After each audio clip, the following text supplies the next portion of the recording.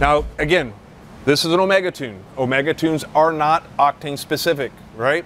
Uh, as anybody that knows our tunes, or maybe you don't know our tune, uh, our tune uh, is very unique in the fact that the tune is not written for a specific fuel octane. In fact, the tune itself is able to adjust in real time as you're driving the vehicle, and it will continually optimize performance and power output based upon your fuel quality, your driving conditions, and how you're driving the vehicle.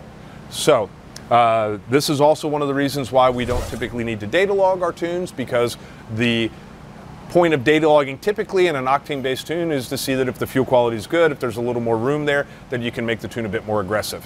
Uh, the Omega tune is going to do that by itself. So there's no need to data log to see if you're getting everything out of the tune. You're going to get everything out of the tune. So long as you use the best fuel you can, use a good quality fuel, good octane, and you've got good driving conditions and the vehicle is mechanically sound, that's a key point as well, the tune will automatically improve performance and provide the most, most uh, power available to you. So this tune is flex fuel. We've set, I've set this tune up so that you will see maximum performance from this vehicle in as little as 30, 35% ethanol. The fact is, is that these engines don't require all of the octane that is available in E85.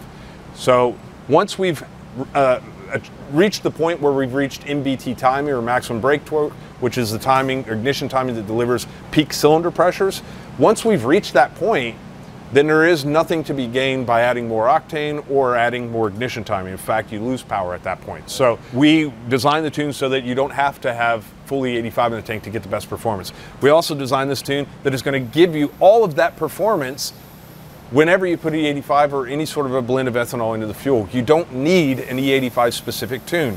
And this is, again, talking about naturally aspirated engines. Forced induction, completely different story. We can't do flex fuel on a forced induction. So be very clear.